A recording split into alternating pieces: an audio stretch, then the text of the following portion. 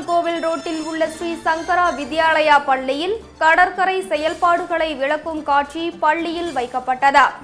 அதை பார்ப்பதற்கு பெற்றோர்கள் அனைவரும் கலந்து கொண்டு சிறப்பித்தனர். வெள்ளம் திரண்டது போல் குழந்தைகளின் கூட்டம் இருப்பதை பார்த்தபோது உண்மையான கடற்கரை போல் காட்சியளித்தது. கடற்கரையில் இருப்பதைப் போல பல்வேறு செயல்பாடுகள் அமைந்திருந்தன. அதில் மாணவர்கள் மீனவர்களை போன்ற உடையணிந்தும் மாங்காய் தர்பூசணி சுண்டல் பஞ்சு மிட்டாய் பலூன் போன்ற பொருட்களை விற்பது போன்ற காட்சியும் இடம்பெற்றது.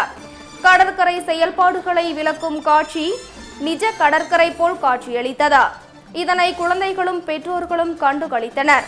இந்நிகழ்ச்சியில் பள்ளியின் தாளாளர் அசோக் சங்கர் ஆனந்த் சங்கர் பள்ளி முதல்வர் தேஜோலதா துணை முதல்வர் ஜெயந்தி ஆகியோர் உடனிருந்தனர்.